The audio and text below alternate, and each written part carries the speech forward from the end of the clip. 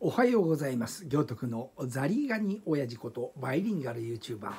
コミュニケーショントレーナーの高野文夫が今日も皆様にコミュニケーション上の重要なワンポイントテクニックをお伝えいたします。高野文夫の人間力大学からのプレゼンテーションになります。今日は4月は29日月曜日晴れのいい日ですね。今週は皆様に世界一のプレゼンコーチニック・バーリーのプレゼン7つの戦略についてお話ししてますが今日はその5回目ですね、視聴覚見えるかを測りなさいというお話です。どうぞ皆さん、あと3つ残ってますがはいお付き合いください、えー、戦略の5つ目5つ目5つ目。B ビジュアル。視覚に訴えなさいということです。皆様はですね、えパワーポイントを使ってると思いますけれども、パワーポイントにですね、あれもこれもと書き込んではダメです。パワーポイントはですね、読ませたらもうダメ。自分の作ったパワーポイントをですね、お客様があ読んでるようなら、私はこのビジュアルというポイントでは失格だなと思った方がいいです。パワーポイントは読ませるものではない、見せるものです。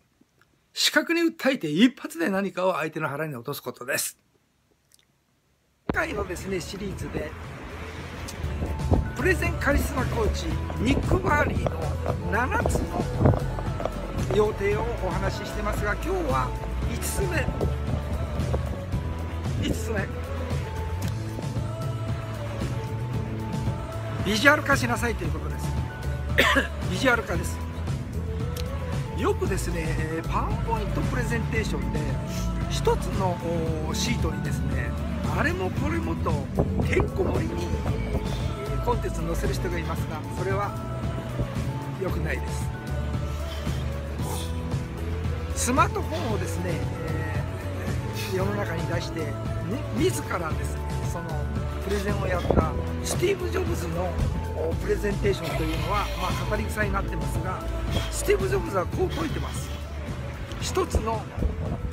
パワーポイントには一つの考えだけを載せなさいあれもこれもてんこ盛りにしないで他のものはですね次のページにすればいいわけです。ボタン一つでですねいくつでもパワーポイントは移動させることができるのですからね。近頃はですね、ズームの技術なんかをこう取り込んでですね、えー、 Prezi なんていう方法があります。パワーポイントをよりビジョナリーに見せるあビジュアルに見せる方法があります。すなわちですね、えー、スティーブ・ジョブズが説いたようにですね一つのシートには一つの考えだけを載せてそしてですねビジョンビジュアル化しなさい。聴衆者の頭の中にビジュアル化してですね焼き付けなさいということです。焼き付けなさい。ですからパワーポイントはですね一種の写真と思ったらいいんじゃないですかね。写真。今日はですねニック・バーリーが説く7つの